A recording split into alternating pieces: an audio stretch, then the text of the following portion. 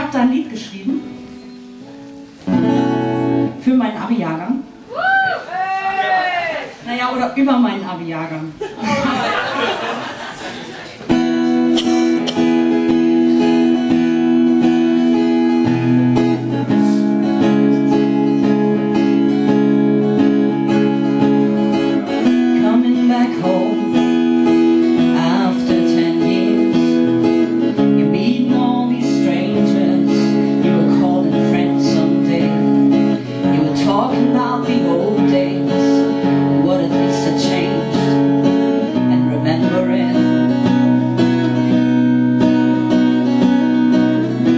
Oh,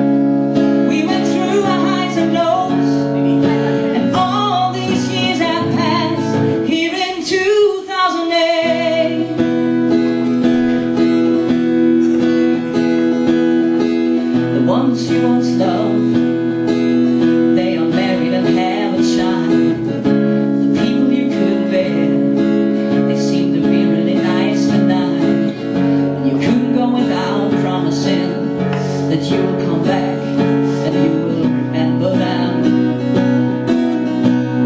Back in 1998.